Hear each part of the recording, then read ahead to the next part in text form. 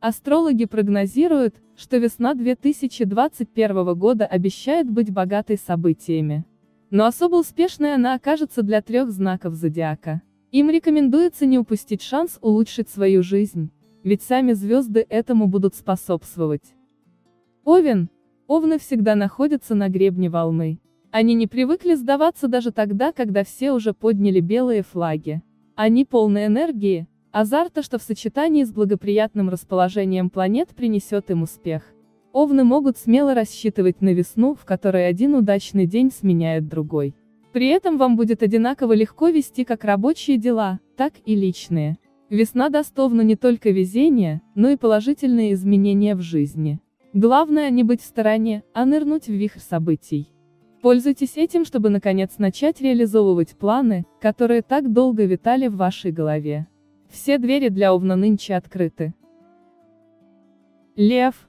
Львов весной 2021 года ждет триумф.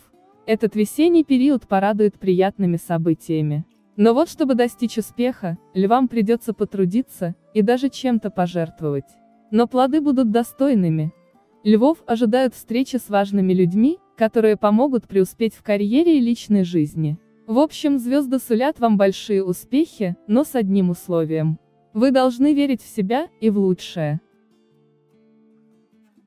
Дева. Дев-астрологи относят к самым большим счастливчикам весны 2021 года.